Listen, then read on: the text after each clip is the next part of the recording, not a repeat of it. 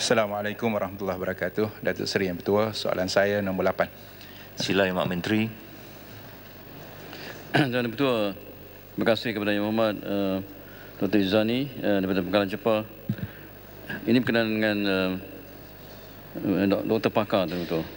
Tuan Ketua, sehingga 30 September 2017, terdapat seramai 4,899 doktor pakar yang sedang berkhidmat di fasiliti-fasiliti kesihatan Kementerian Kesihatan Malaysia, Ketua.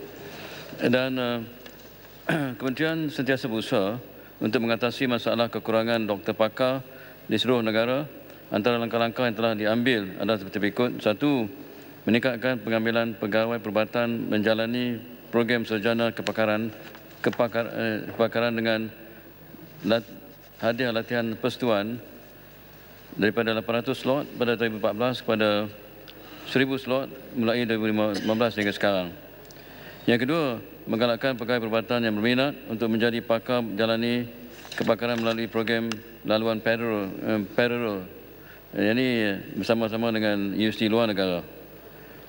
Yang ketiga, melantik semua melantik semula secara kontrak pegawai perubatan pakar warga negara yang telah bersara wajib untuk berkhidmat dengan KKM mengikut keperluan. Ini sekarang ini terdapat 16 16 orang pakar.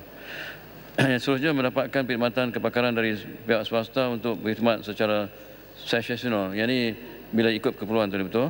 Dan selain daripada itu juga menggalakkan pegawai perubatan pakar warga negara Malaysia yang berkhidmat di luar negara untuk pulang ke tanah air.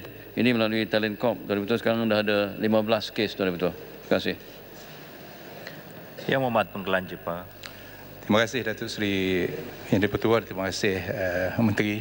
Uh, soalan saya ialah adakah berlaku pengurangan jumlah uh, calon yang mendapat hadiah cuti uh, belajar untuk menjalani latihan uh, kepakaran dan daripada jawatan tadi saya dan, dan jawapan sekejap tadi dalam usaha untuk menampung keperluan pakar perubatan mengikut jangka masa yang dikenaki Kementerian Kesihatan telah mengambil langkah bijak terima kasih yang ini membuka program atau ataupun parallel program antara uh, program luar negara dan juga uh, program master yang yang biasanya. Namun demikian persoalan saya ialah adakah uh, keuangan daripada untuk program paralel luar negara ini diambil daripada uh, ataupun uh, mengurangkan uh, peruntukan kepada hadiah latihan uh, dalam negara untuk masa program. Maknanya kalau itu berlaku uh, proses untuk menambah pakar juga menjadi lambat pada pandangan saya. Sekiranya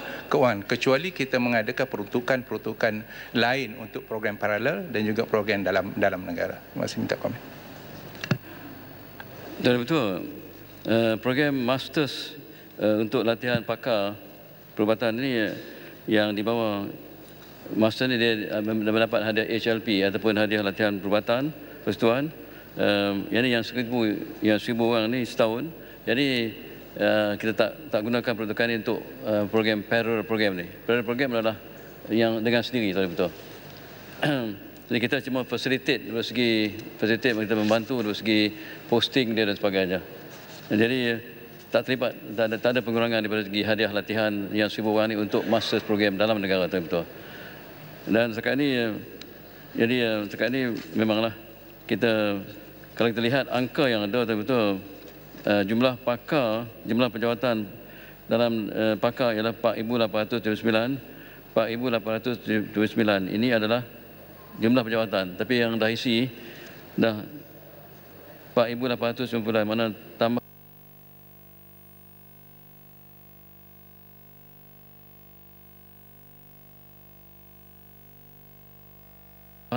Sejemput Yang Berhormat Dr. Ismail bin Daud